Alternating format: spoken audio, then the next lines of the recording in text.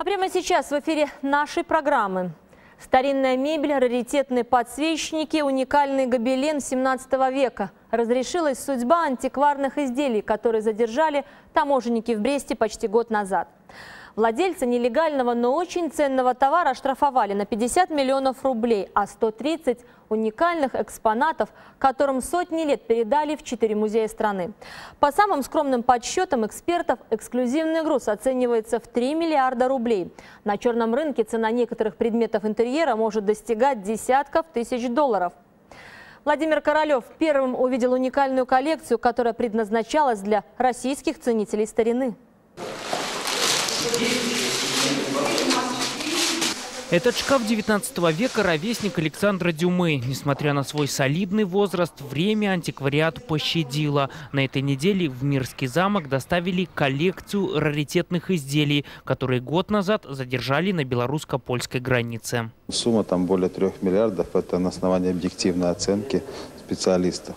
Весь этот эксклюзивный груз из Европы пытались тайно провести через Беларусь. В сопроводительных документах значились лишь несколько старинных предметов. После тщательного досмотра ценного груза специалисты насчитали 130 уникальных вещей. Все это время антиквариат хранился на Брестской таможне, дожидаясь решения Фемиды. Рыночная стоимость достаточно быстро меняется. Те предметы, которые э, мы имеем, очень редко попадают на белорусский антикварный рынок и на самом деле могут стоить гораздо дороже, чем их оценили эксперты.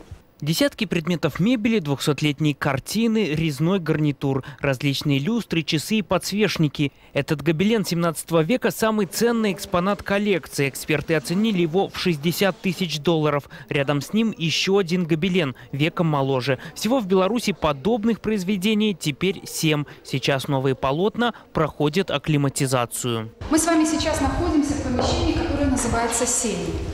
Здесь э, на стене мы видим э, шкуру волка и чучело оленя.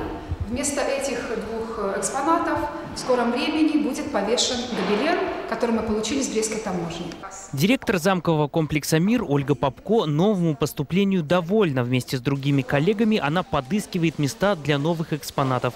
В музее считают, что большая часть раритета произведена во Франции. Французский дворец был куплен русским бизнесменом, который хотел выставить уникальные товары на аукционе в Москве. Раритетные изделия были переданы в три музея страны. Наиболее крупная партия находится в Мирском замке. Уже в ближайшее время посетители этого музея смогут увидеть ценные экспонаты. С момента создания таможенной службы, а это 12 лет работы, на границе было изъято 83 тысячи предметов, представляющих историческую, культурную и художественную ценность. Последняя партия – самая крупная за два года.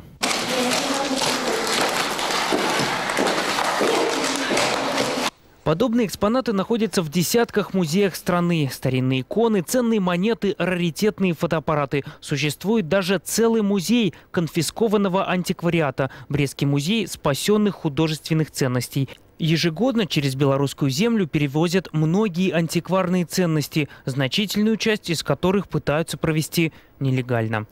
Владимир Королев и Александр Берецкий. Зона X. Итоги недели.